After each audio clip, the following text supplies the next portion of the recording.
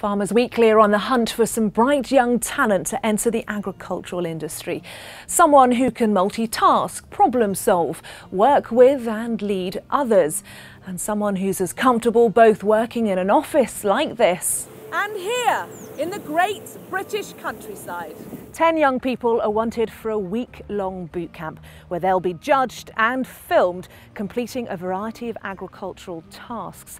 The series Farmer's Apprentice will be presented by me and posted online in November when the final winner will be announced to the public. If you're that lucky winner, you'll have bagged yourself £10,000. But you'll also have been on a journey that will inspire you and equip you with the qualities you need to be a farmer today, to meet the demands of consumers, the countryside and rural communities.